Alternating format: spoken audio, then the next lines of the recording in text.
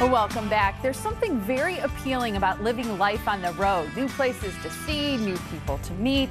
The RV industry began 100 years ago and still remains one of America's favorite ways to travel. David Woodworth is an RV historian, and right now he joins us from the RV Museum in Elkhart, Indiana. Isn't that right, David? That's right, Molly. Thank you very much for having me. Thank you so much for being here. My brother and his family just took a huge RV trip for the first time and they had a blast. And I wonder if you could kind of, because you're a historian, let's take a look back and tell us what the first RVs looked like. Well, uh, right here we have a 1916 telescope apartment. You wouldn't think there's enough room to sleep in, but there really is. It drops down and here it exposes the bed. Look at that. Then it has a slide, and you pull this out, and then the sides slide out, and you've got a bed. All the modern comforts of 1916. You're ready to go see the country and uh, do it in style. Uh, look at that. It's so compact. Put, put your hands on that mattress. Does it look like it'd be a comfortable place to sleep? Well, you know, it's not it's not too bad. matter of fact, see it has both sides slide out, gives you the whole bed. Wow. So I everything, like that. every you know, you know, now if you like this, you'll love my Fleetwood that I travel a country in. It is really nice. Now, remember how these slid out and gave you extra room? Yep. Well, watch this. Look at see the sides sliding out? Look at now, that. Now it's done with a and now, now, see, that is comfort. See the TV back there? Stainless steel appliances.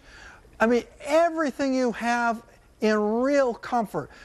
Washer, dryer, in the bedroom, you can lay in bed, you can watch TV. This is really the way to see America. You stop wherever you are, you're always at home in comfort. That's amazing. That looks bigger than my house. You look pretty comfy in that RV. They certainly have come a long way. And one of the things oh. I read is that RVing remains the most affordable travel options for families. So I'm wondering if that's true. I also heard that the RV industry has taken a turn for the green. Yes, that's actually true. The RV industry is always adapting to where we are in our culture with the, the, uh, the amenities and the technology that are available to us. In 1916, uh, this was state of the art. However, today we've gone past this and we're continually evolving. If you want to know more about RVing, check out our website, gorving.com or maybe go to an RV dealer and look, kick some tires, meet with some people. They'll help explain it to you and help you find a unit that would be suitable for your family. I think RVing has come a long way, baby. Yeah, it really has. it really has. So that's probably the first thing people should do if they want to get started in RVing is going is visiting that website, right?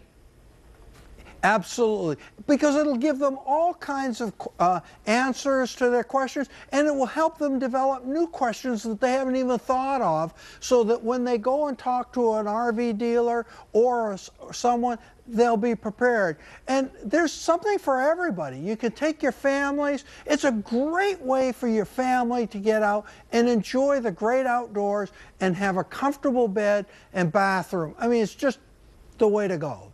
I love it. I love it. it. Looks comfy too. Thank you so much for joining us on the Morning Blend.